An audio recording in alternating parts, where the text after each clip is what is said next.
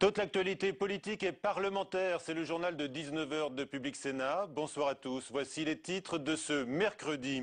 Comportement ripou à la police des polices. Une enquête aurait été truquée fin 2007 pour nuire à des fonctionnaires réputés proches du Parti socialiste sanctionnés à tort, comme l'a reconnu la Cour d'appel. Mais Claude Guéant dénonce ce soir des informations tronquées du monde qui sort l'affaire. Invité du 19h, Yannick Blanc, alors directeur de la police générale, victime numéro un de cette déstabilisation. La mort en Syrie du journaliste de France 2, Gilles Jacquier. Il a été victime d'un tir d'obus lors d'un reportage à Homs, épicentre de la révolte contre le régime du président Al-Assad. Nicolas Sarkozy, il y a quelques instants, lui a rendu hommage, ainsi d'ailleurs que François Hollande, qui se dit profondément ému. Naissance du premier groupe écologiste du Parlement. Les dix sénateurs verts seront présidés comme prévu par Jean-Vincent Placé. La constitution d'un groupe rendu possible à partir de dix élus au Sénat donne droit à certaines prérogatives et également des avantages matériels. Le débat du 19h ce soir face à face, le sénateur Jean-Marie Bockel, ex-ministre d'ouverture qui soutient Nicolas Sarkozy, Bernard Cazeneuve, porte-parole de François Hollande. Il sera question notamment de la politique familiale.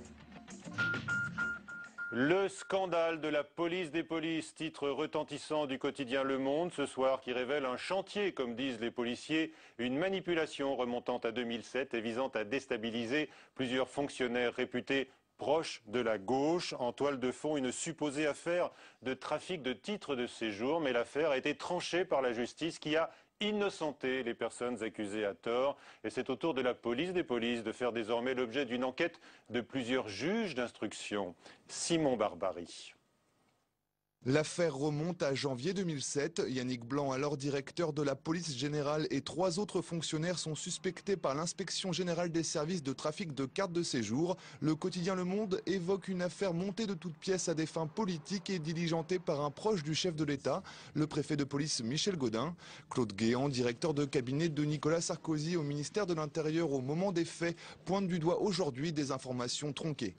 Sur la foi d'informations tronquées, de pièces de justice partielles, on instruit un procès Le préfet de police usera de son droit de réponse auprès du journal qui a publié ces indications. Il se réserve de donner les suites judiciaires appropriées. Mais je voudrais rappeler un principe de notre République. C'est que quand la justice est saisie, on la laisse travailler. Vive réaction également de la part de la préfecture de police cet après-midi. Elle dénonce des allégations infondées et se réserve le droit de poursuite judiciaire à l'encontre du quotidien. Des mots choquants pour l'avocat des policiers suspendus. Il y a quand même eu des dysfonctionnements dans un service de police placé sous l'autorité du préfet de police. C'est un minimum euh, que de, de, présenter ses excuses et de faire amende honorable auprès des victimes qui sont parties civiles aujourd'hui et qui ont en plus bénéficié d'un non-lieu. En effet, le 25 janvier 2011, la Cour d'appel de Paris a blanchi totalement les quatre fonctionnaires suspects.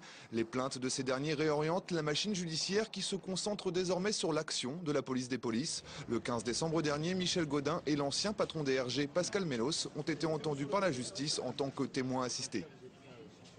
François Rebsamen, le président du groupe socialiste au Sénat, évoque l'utilisation de la police par un clan. Le député UMP Éric Ciotti affirme, lui, que l'affaire n'est pas politique, mais concerne une relation entre des policiers. Invité du 19h dans un instant, Yannick Blanc, ex-directeur général de la police euh, générale, donc à la préfecture, qui était la principale cible de l'enquête de l'IGS. Les mots de la campagne pour le président UMP de l'Assemblée nationale, Bernard Accoyer, les conséquences économiques et sociales seraient comparables à une guerre si la gauche passe. Le président PS du Sénat, Jean-Pierre Bell, fustige un dérapage verbal et appelle son homologue à plus de retenue. Il y a des mots que l'on ne peut pas utiliser dans un débat républicain, déclare dans un communiqué Jean-Pierre Bell. D'autres propos tenus aujourd'hui. François Hollande est un homme dangereux pour la France. Selon Nadine Morano, il ne sait plus où il est, lance le chef des députés UMP, euh, Monsieur Jacob, allusion au débat mouvant sur le quotient familial. Le candidat socialiste a inauguré son QG de campagne, avenue de Ségur, à Paris, image d'unité après la cacophonie des derniers jours. Fabrice Cunet. Personne n'aurait voulu rater l'inauguration, pas même le souvent très discret Lionel Jospin. À la tribune, François Hollande évoque une campagne en mouvement. Mais dans les étroits couloirs, il est surtout question de mouvement de foule. La cohue médiatique après des mois d'hésitation autour du choix du QG de campagne socialiste. Et aujourd'hui, c'était un grand moment parce qu'on se retrouve en effet pour euh, euh, démarrer, euh, en tout cas, le fonctionnement de ce lieu de campagne. C'est vraiment dans une très bonne, très bonne ambiance et je suis rasséréné ce matin. 1000 mètres carrés de bureaux, avenue de Ségur, dans le 7e arrondissement de Paris. Dans les étages, tout n'est pas encore en place, mais la campagne du candidat socialiste a désormais son QG. Un QG et un slogan aussi. Bah, le changement, euh, c'est maintenant. Parce que c'est maintenant que les Français vont faire leur choix. C'est pas trop Mitterrandien, c'est pas trop tourné vers le passé? Maintenant, c'est du présent. Si je sais exactement ce que sont euh, les règles de la langue française. Le présent pour l'avenir. L'avenir, c'est une campagne que l'équipe de François Hollande veut ancrer à gauche. Dernier exemple en date, le débat sur le quotient familial. Et ce ne serait qu'un début c'est le moment d'inverser les choses. Je suis pour que les plans de rigueur et d'austérité soient pour le système financier et le système bancaire, et le plan de sauvetage et de renflouement pour la population qui aujourd'hui est en grave difficulté. Merci. L'austérité aurait aussi dicté le choix de cet immeuble, loué jusqu'en mai pour 40 000 euros par mois. Ce serait un bon prix pour le quartier, un symbole aussi, car ces locaux étaient jusque-là occupés par le Haut Commissariat aux Solidarités Actives. Christine Lagarde était en visite à l'Elysée aujourd'hui pour parler de la zone euro avec le chef de l'État. La directrice générale du FMI n'a pas fait de déclaration publique sur la situation économique internationale. Nicolas Sarkozy qui a présenté ses vœux aux parlementaires tout à l'heure, une cérémonie que vous avez pu suivre en direct sur Public Sénat. Le chef de l'État a notamment annoncé qu'il va réunir les élus locaux pour les associer à la réduction des déficits. J'ai donc la conviction que dans la situation actuelle, un dialogue républicain responsable et raisonnable est possible pour mieux répondre aux défis de la maîtrise de nos finances publiques. C'est pourquoi, avec le Premier ministre, dès le mois prochain, nous réunirons les présidents des associations d'élus locaux, le président du comité des finances locales, les présidents des commissions des finances du Sénat de l'Assemblée nationale, pour examiner ensemble les voies et les moyens permettant de mieux associer les collectivités locales à l'indispensable effort de réduction du déficit public. Alors on sait que la gauche rejette tout effort budgétaire de la part des collectivités locales. La majorité de gauche du Sénat lance d'ailleurs un blog sur les états généraux de la démocratie territoriale, états généraux repoussés par l'opposition de droite, mais le débat est ouvert donc sur le net. Dix élus suffisent désormais euh, au Sénat pour constituer un groupe parlementaire. La mesure votée en décembre dernier visait à permettre aux élus écologistes d'avoir leur propre entité. C'est fait formellement depuis aujourd'hui. Le nouveau groupe, baptisé tout simplement groupe écologiste, sera présidé par Jean-Vincent Placé, sénateur de l'Essonne, et numéro 2 d'Europe Écologie Les Verts. L'UMP achève ce soir d'accorder ses investitures pour les législatives avec les cas litigieux de Paris. François Fillon doit être déclaré candidat dans le 7e arrondissement de la capitale, aux grandes dames de Rachida Dati, mais l'on découvre que d'autres candidates s'insurgent contre des nominations et des choix exclusivement masculin. Julie Dingeloff. Après des mois de batailles rangées et de petites phrases entre Rachida Dati et François Fillon, le Premier ministre devrait être investi ce soir dans la seconde circonscription de la capitale. Mais ce n'est pas un cas isolé. Sur les six circonscriptions gagnables par l'UMP à Paris, aucune ne serait attribuée à une femme. Parmi la jeune génération, on n'hésite pas à monter au créneau à grand renfort de pétitions pour exiger le respect des règles de parité au sein de la majorité. Si on ne fait rien, il y aura zéro femme à Paris pour représenter le plus grand parti de la droite. C'est totalement anormal, donc j'ai lancé une pétition sur générationparisienne.com pour respecter la parité. En 2007, l'UMP a payé une pénalité de 4 millions d'euros pour non-respect de la parité. C'est vraiment dommage. En 2012, il y a vraiment d'autres occasions d'utiliser à la fois les cotisations euh, des militants, des élus et les financements publics. C'est également le sentiment de Brigitte Custer, maire du 17e arrondissement de Paris, qui pourrait se voir sacrifiée au profit de Bernard Debré. Je pense que l'UMP et ses dirigeants avant une campagne présidentielle, doivent faire très attention aux actes qu'ils vont faire. Et envoyer un mauvais signal à la moitié de l'électorat français serait très mal perçu. Je pense qu'à un moment, ce n'est pas parce que l'on est femme que l'on est candidate et que l'on est meilleure, mais ce n'est pas non plus parce que l'on est femme que l'on doit être forcément mise dans des circonscriptions non gagnables. Si Bernard Debré était investi ce soir, Brigitte Custer n'hésitera pas à jouer la dissidence. Le nouveau découpage électoral est en partie responsable de ces rivalités, mais une chose est sûre, à l'UMP, les femmes sont prêtes à se faire entendre. C'est une revendication féministe dans la foulée de l'affaire DSK Bannon que les agressions sexuelles ne soient pas prescrites au bout de trois ans, mais de dix comme les viols. La commission des lois a examiné aujourd'hui la proposition de la sénatrice centriste Muguette Ndini, mais a exprimé à l'unanimité un avis défavorable. Les explications de son rapporteur Yves Détraigne que vient de rencontrer Mounir Soussi. La commission considère que si l'on passe de trois à 10 ans le délai de prescription des agressions sexuelles, d'une certaine manière, on va banaliser les agressions qui sont considérées aujourd'hui comme des crimes et qui sont déjà prescrites en 10 ans, en mettant au même niveau une agression sexuelle qui est considérée comme un délit. On considère que le problème n'est pas tant celui du délai de prescription que celui d'encourager les victimes à déposer plainte. Aujourd'hui, elles ne sont que 9% victimes d'agressions sexuelles à déposer plainte, donc il faut se donner les moyens qu'il y ait plus de dépôts de plainte. Voilà, on verra quel sera l'avenir de ce texte appelé déjà proposition de loi Bannon. Les invités du 19h, d'abord Yannick Blanc, qui fut donc le directeur de la police générale avant d'en être écarté en 2007 dans ce scandale qui se révèle être celui de la police des polices.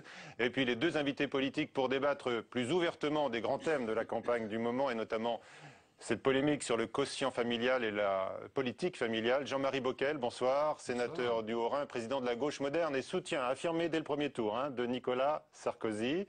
Avec nous également Bernard Cazeneuve, porte-parole du candidat François Hollande. On écoute d'abord tous ensemble, si vous êtes d'accord, Yannick Blanc. Bonsoir.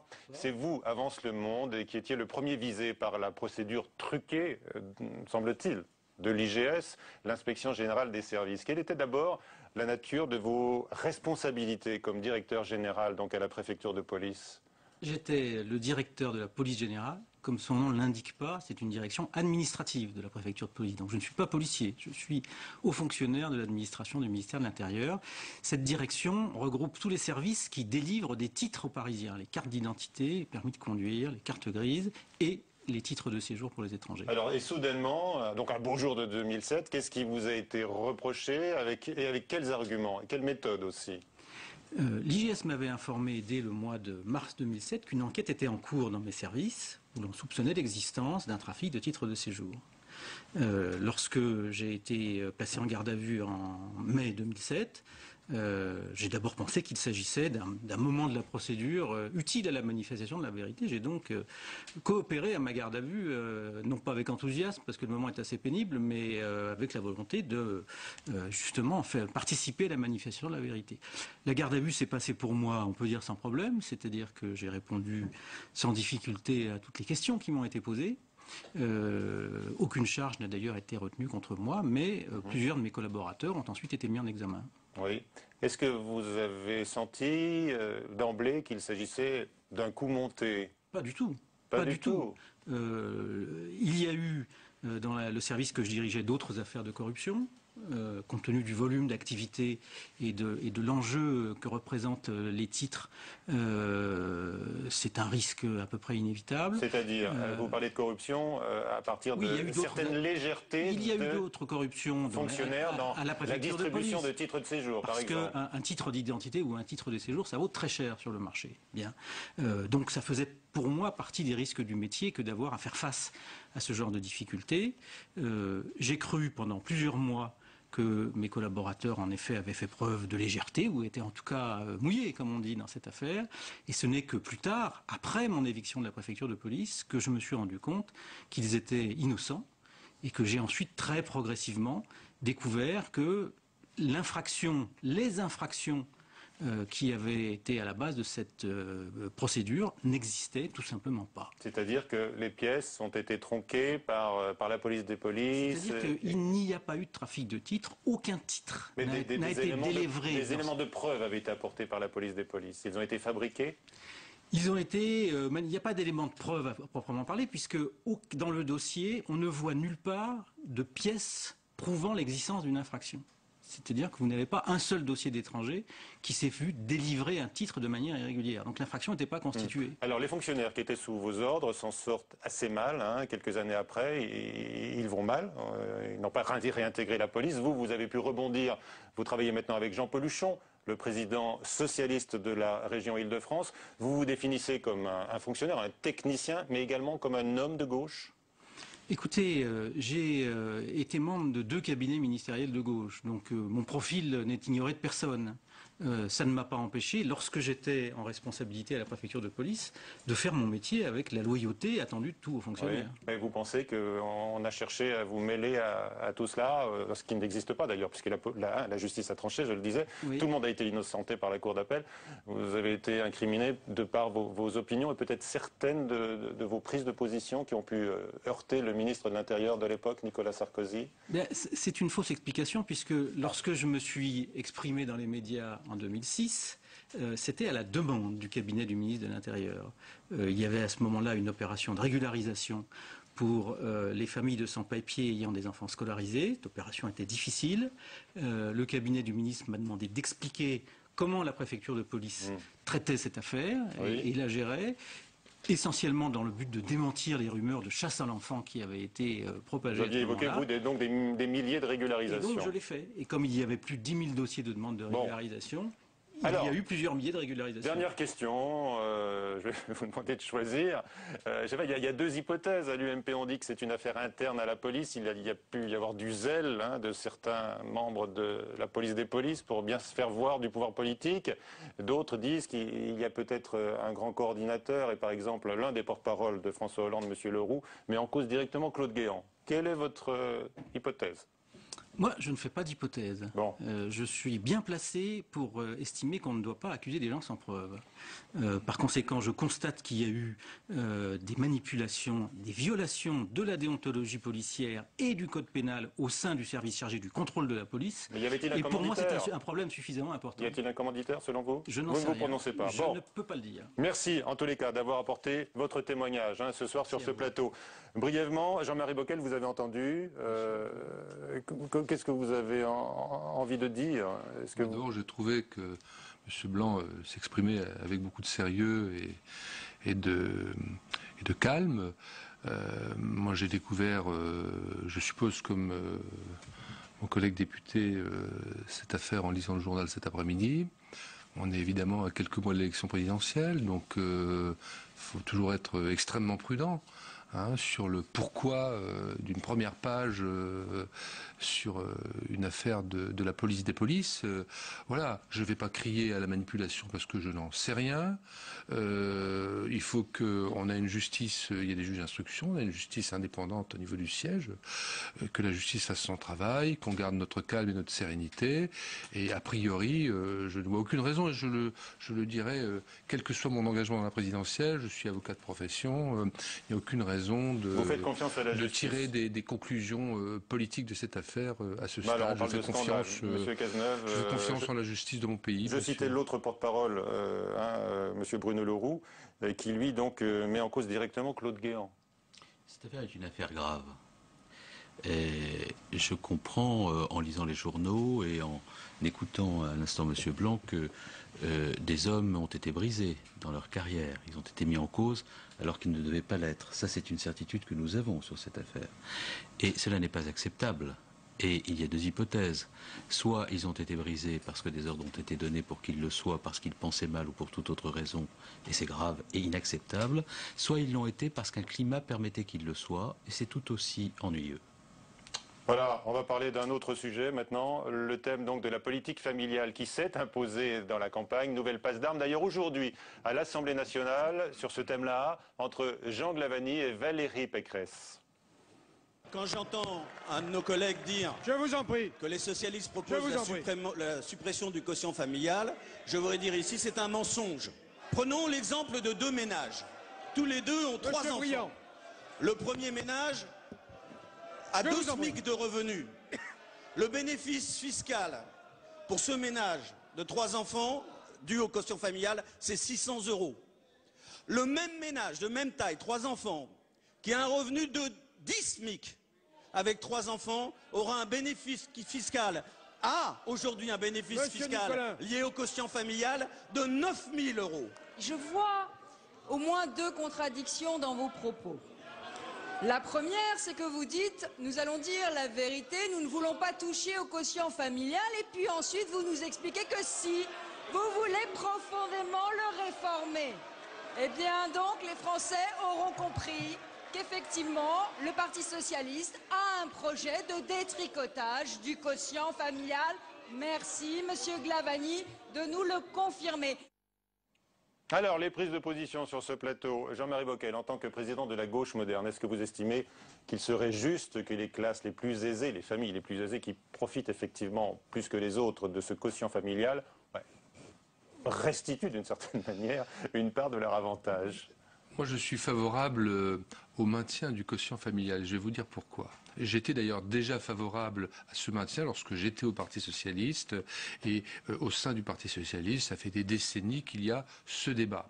Je pense que euh, une fiscalité juste et elle peut toujours être encore plus juste, ne doit être ni confiscatoire, c'est un autre débat, mais doit pouvoir peser sur ceux euh, qui ont davantage de revenus et les moyens ne manquent pas, mais il y a, je dirais, à part la question de la politique familiale de la question de la politique familiale de la France. Un totem. Et, on n'y touche pas.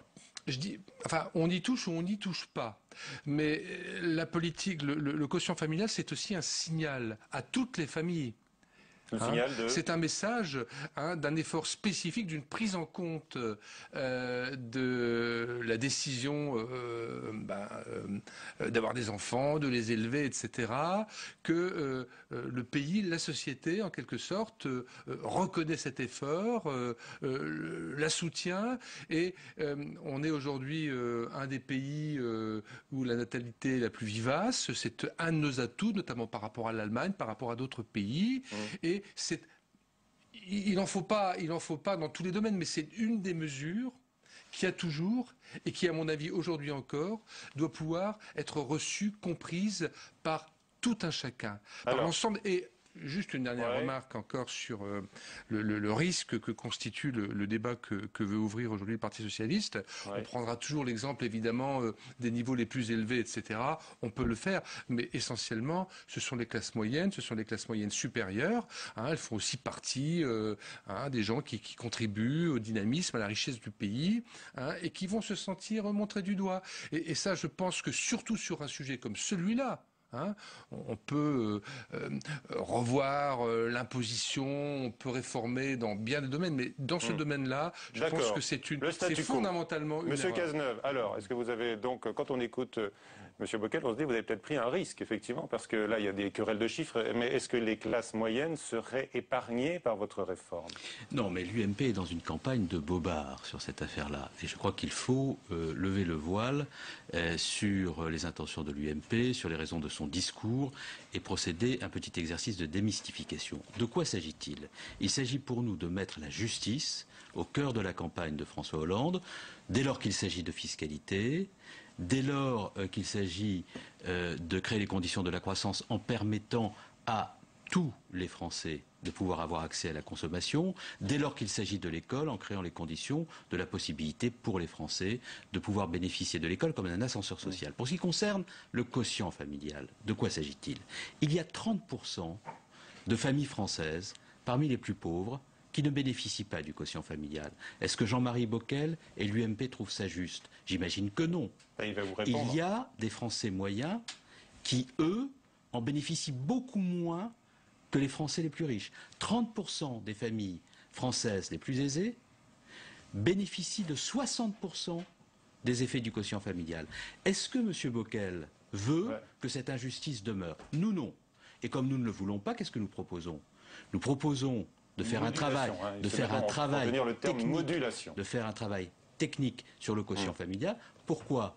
Parce que nous, nous sommes en train de analyser très précisément, je termine mon argumentation. Si oui, parce que ça n'a pas été clair hein, ces derniers jours. Ça l'est là, et je vous dis ce que nous allons faire. Nous préconisons un travail technique sur le quotient, de manière à faire en sorte que les Français moyens et les plus modestes puissent bénéficier des effets du quotient familial et qu'il ne soit pas pénalisé par rapport au plus riches. Ça, c'est un objectif de justice. si M. Bockel, si Monsieur Bockel n'est pas favorable à cela avec l'UMP, c'est-à-dire à cet objectif de justice, nous pouvons le comprendre, ça fera une différence entre eux et nous, mais nous ne laisserons pas l'UMP ce n'a pas été le cas de M. Bockel, qui est un homme modéré. Nous ne laisserons pas l'UMP et Mme Pécresse, avec les outrances que l'on vient de voir, caricaturer une bonne mesure euh, qui est une mesure de justice. Enfin, euh, dire que euh, poser cette question en réponse à, aux, propositions avancées par les responsables socialistes est un bobard, non.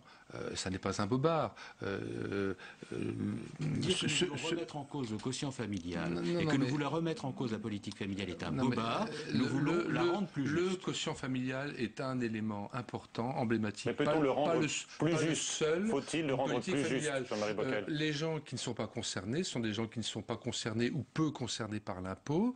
Et c'est bien d'ailleurs que, évidemment, un certain nombre de nos concitoyens qui sont plus modestes ne soient pas, en quelque sorte, pénalisés par la fiscalité. Il, y a d'autres aides, il y a, des allocations familiales. alors attendez, alors c'est une autre manière d'aborder le débat. À ce moment-là, mettons sur la table le coût euh, fiscal, euh, euh, enfin, du, du, quotient familial dans sa totalité, parce que là aussi, il faut savoir ce que l'on veut et ce que cela va coûter. Est-ce que on veut simplement faire un effort supplémentaire en direction des ménages les plus modestes Et à ce moment-là, on peut en discuter. Il faut voir ce que ça hmm. coûtera, parce que tout ça évidemment coûte. Et est-ce que, ou est-ce que, ou est-ce que, où est-ce qu'on veut revoir la répartition? Car on met en avant quelques très hauts revenus. On sait bien que c'est une situation euh, extrêmement minoritaire de personnes qui sont par ailleurs, qui sont par ailleurs, hein. euh, qui sont par ailleurs, et là on ne parle pas des très riches, on parle des, hauts revenus très fiscalisés. ils le savent et ils l'acceptent. Vous savez, vous savez dans, cette, dans cette affaire, 30% des familles les plus riches perçoivent 60%. Et vous, vous nous dites qu'il ne faut rien toucher à cela. Ce qui est d'ailleurs normal, puisque ce quinquennat a été le quinquennat des cadeaux fiscaux aux plus riches. Donc on comprend que pour M. Sarkozy, ce soit une folie que de vouloir établir un peu de justice. Mais pour nous, c'est un objectif. Et c'est un objectif d'espérance. Je comprends que ça indigne l'UMP, c'est le contraire de ce qu'ils ont fait. Mais c'est ce que nous voulons faire. Nous voulons le faire de façon maîtrisée. C'est la raison pour laquelle nous prenons le temps de l'expertise technique. il restera une minute pour la conclusion. Oui, enfin, moi j'ai quand même le sentiment que vous n'êtes pas très à l'aise sur cette affaire de quotient euh, euh, familial. Non seulement vous vous rendez, vous, rendez bien compte, y compris dans votre propre, dans votre propre électorat, qu'un nombre important de nos concitoyens, c'est quand même plus de 4 millions de personnes qui sont concernées, notamment euh, chez les classes moyennes, qui, qui, se sentent, qui, qui, se sentent montrés du doigt. Non mais attendez, plus la, Sarkozy, la, justice fiscale ne se réduit pas à la question du quotient familial. Hum. Loin s'en faut. C'est la raison pour laquelle nous allons faire une grande réforme assumez vos positions, qui permettra de remettre en cause les assumez la les cadeaux aux plus riches des contribuables français. Tout ça, nous le ferons. C'est-à-dire que nous ferons le contraire de ce que vous avez fait pendant 5 ans. C'est un petit peu une fuite en avant. les injustices. C'est un peu une fuite en avant car vous êtes mal à l'aise sur ce sujet.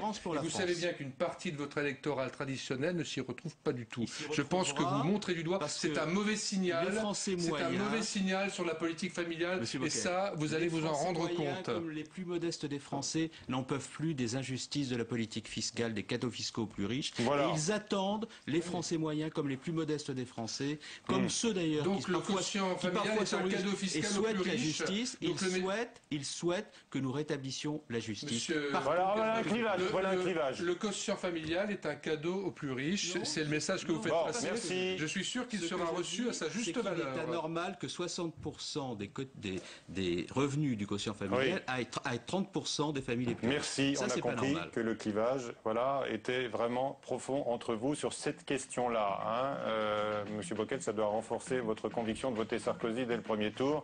Quant à Monsieur Cazeneuve, je le rappelle, il est l'un des porte-parole du candidat François Hollande. Merci à tous les deux d'avoir participé à cette édition. À 22h, Sonia Mabrouk à suivre sur la chaîne parlementaire Assemblée nationale. Question d'info. Bonsoir, à demain, 19h.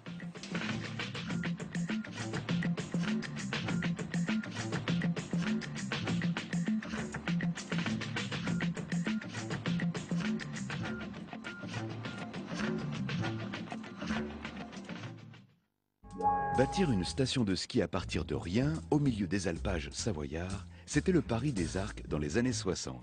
Je n'avais pas de capital, je n'avais pas d'argent à y mettre. Tout ce que je pouvais y mettre dedans, c'était du temps, c'était mon savoir-faire, Comment a évolué le projet? Et surtout, comment a-t-il vieilli? Réponse dans Attention grands travaux, demain à 23h sur Public Sénat.